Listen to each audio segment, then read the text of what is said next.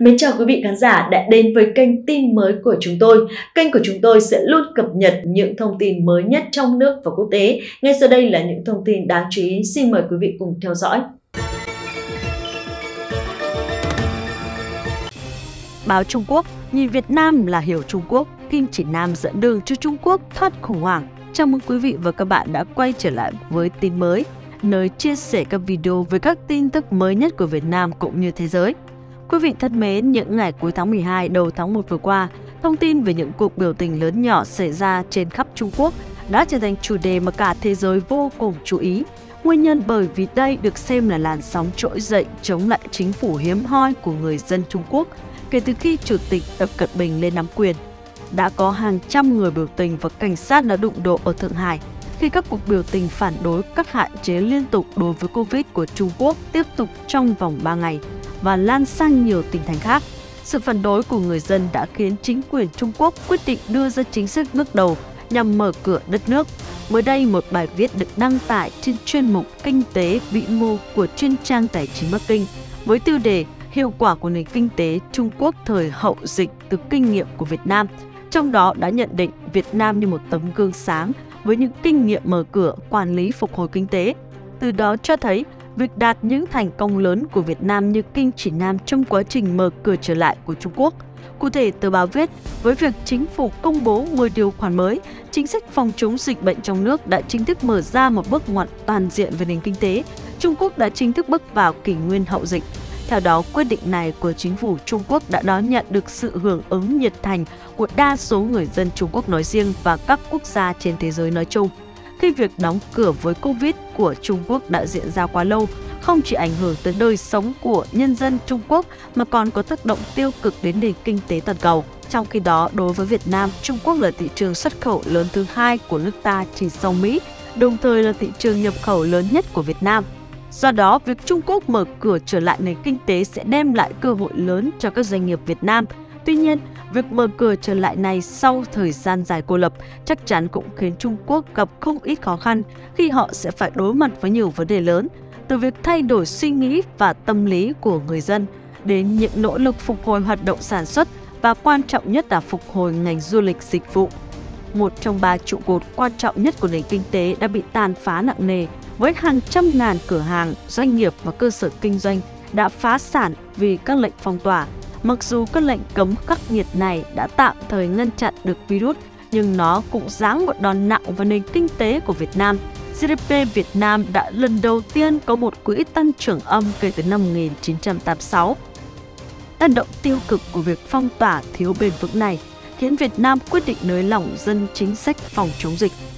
Tháng 10 năm 2021, Việt Nam ban hành nghị quyết 128 chuyển từ chính sách Zero Covid sang sống chung với dịch Covid Sở Y tế Thành phố Hồ Chí Minh đã cho phép cách ly tại nhà.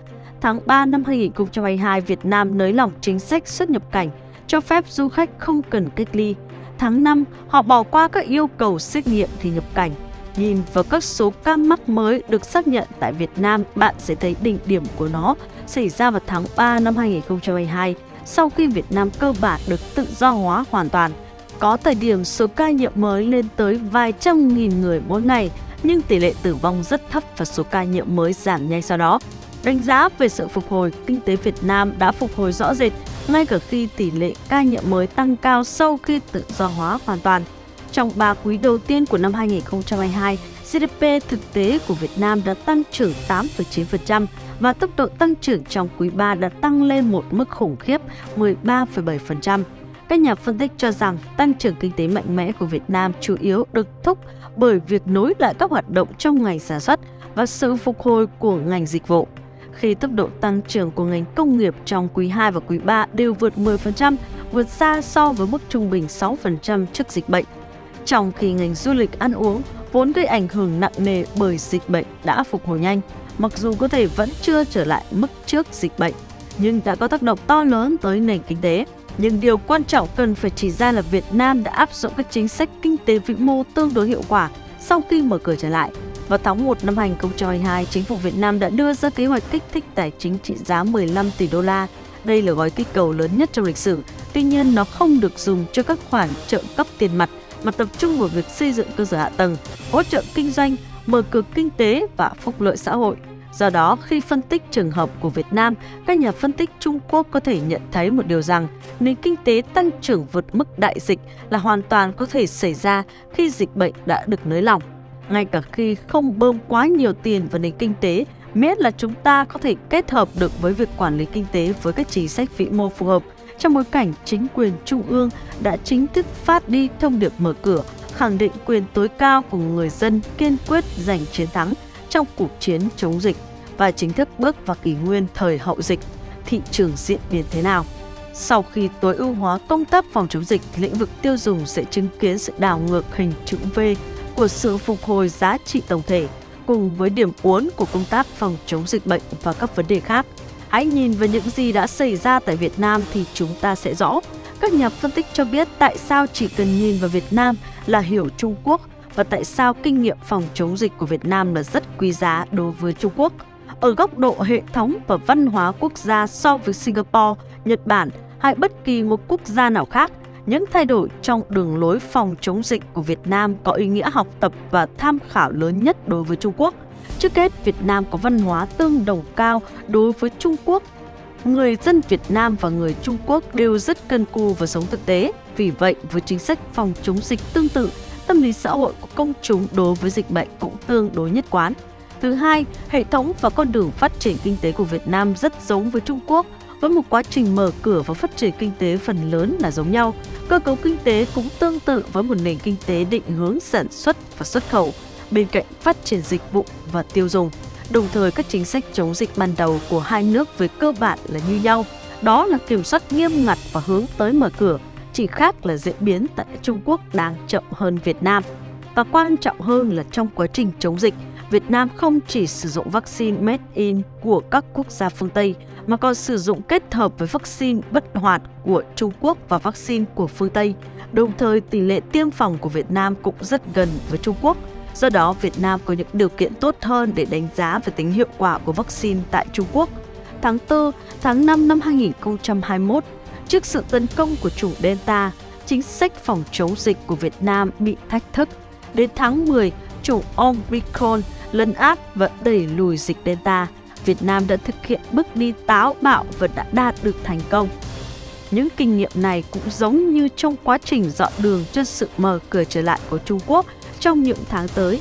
Tóm lại, trải qua 4 đợt dịch, Việt Nam đã có rất nhiều kinh nghiệm quý báu, tương đồng với diễn biến tại Trung Quốc, khác biệt duy nhất là về thời gian.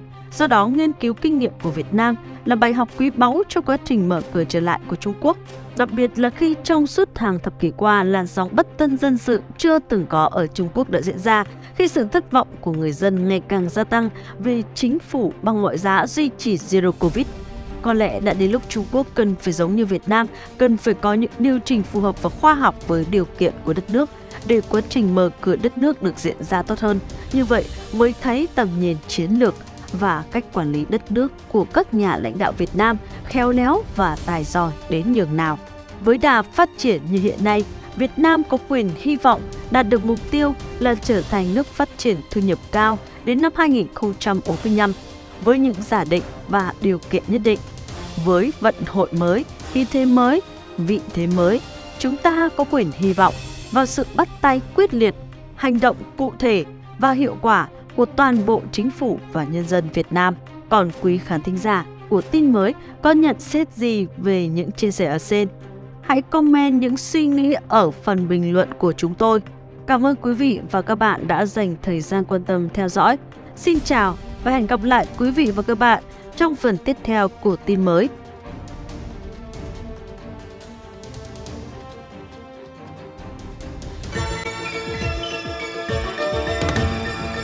Vừa rồi là thông tin cuối trong bản tin ngày hôm nay. Cảm ơn quý vị và các bạn đã quan tâm theo dõi. Xin kính chào và hẹn gặp lại.